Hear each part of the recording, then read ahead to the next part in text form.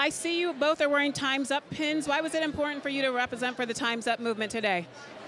Well, um, it's we're having a really interesting and important conversation in our society right now, um, and I feel that the category that we are nominated for tonight is a very interesting one because it is at least 50% diverse, and for the first time in any category I've ever been nominated, it's almost 50-50 for gender representation, um, meaning it's almost 50-50 men and women nominees. That doesn't often happen, and our category could be one of the first to change the change the attitudes, and maybe every category will start to look like this. So we are already seeing immediate effects of the Time's Up movement.